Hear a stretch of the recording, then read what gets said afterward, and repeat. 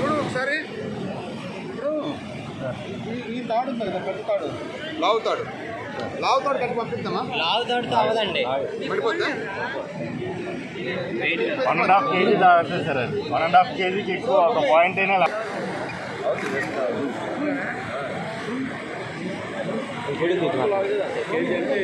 పెరిగే